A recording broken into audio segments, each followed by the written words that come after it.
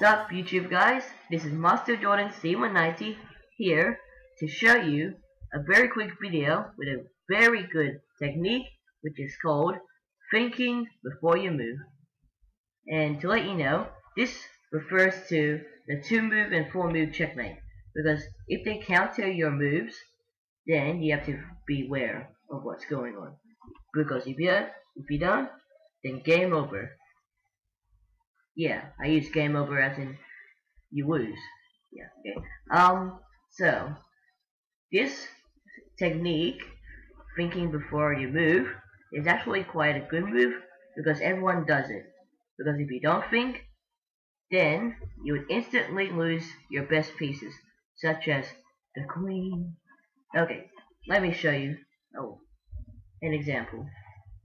So, if you were to just do this, you move your bishop to here to defeat the pawn without even thinking like this.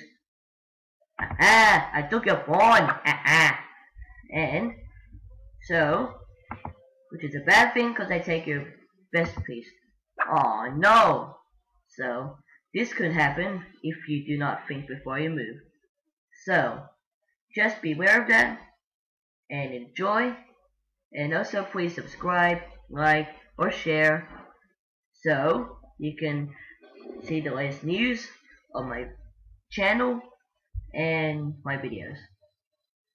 So I hope you learned something from this and enjoy. See ya.